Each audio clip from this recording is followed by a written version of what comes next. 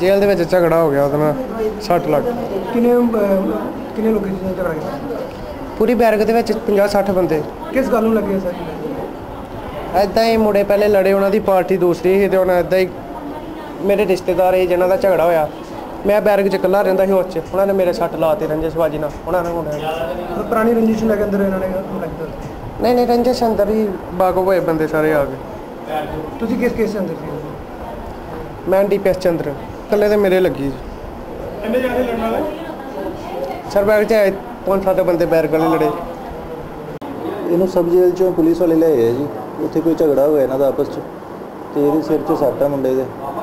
ਤੇ ਉਹਦਾ ਮੈਡੀਕਲ ਵੀ ਕੀਤਾ ਜਾ ਰਿਹਾ ਟ੍ਰੀਟਮੈਂਟ ਵੀ ਕੀਤਾ। ਹੈ ਕੀ ਸੱਟ ਹੈ ਕਾਦੀ ਸੱਟ ਲੱਗ ਹੈ ਬਲੰਟ ਟਰੋਮਾ ਹੈ ਕੋਈ ਕਿਸੇ ਇੱਟ ਪੱਥਰ ਨਾਲ ਜਾਂ ਕਿਸੇ ਡਾਂਗ ਵਗੈਰਾ ਨਾਲ ਮਾਰਿਆ ਹੋਇਆ। ਹੈ ਇਹਦਾ ਹਾਲਾਤ ਕਿਹੋ ਜਿਹੇ ਨੇ ਫਿਲਹਾਲ ਐਗਜ਼ਾਮਿਨ ਕਰ ਰਹੇ ਹਾਂ, ਬਾਕੀ ਦੇਖਦੇ ਹਾਂ ਅੰਡਰ ਆਬਜ਼ਰਵੇਸ਼ਨ ਰੱਖਿਆ ਇਹਨੂੰ ਸਬ ਜੇਲ੍ਹ ਪਠਾਨਕੋਟ ਤੋਂ ਲਿਆਂਦਾ ਬੰਦਾ, ਅੰਦਰ ਇਹਨਾਂ ਦਾ ਝਗੜਾ ਹੋ ਗਿਆ ਸੀ, ਤੇ ਸਾਨੂੰ ਬੋਲ ਕਿ ਇਹਨਾਂ ਨੂੰ ਸਿਵਲ ਹਸਪੀਟਲ ਵਾਸਤੇ ਲੈ ਕੇ ਜਾਓ, ਇਹਦਾ ਟ੍ਰੀਟਮੈਂਟ ਕਰਾ ਕੇ ਲਿਆਓ।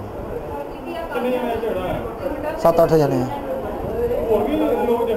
ਨਹੀਂ ਨਹੀਂ, ਇਕੱਲੇ ਦੇ ਸੱਟ ਲੱਗੀ ਹੈ ਪਤਾ ਨਹੀਂ, ਬੋਲ ਰਿਹਾ ਕਿ ਡੱਕ ਦੀ ਜਿਹੜੀ ਲੱਕੜ ਹੁੰਦੀ ਹੈ ਤਿੱਖੀ, ਉਹ ਵੱਜੀ ਹੈ ਉਹ ਬਾਕੀ ਬੰਦੇ ਕਿੱਥੇ ਆ? ਬਾਕੀ ਅੰਦਰ ਹੀ ਹੈ ਜੇਲ੍ਹ ਚ ਬੰਦ ਹੈ।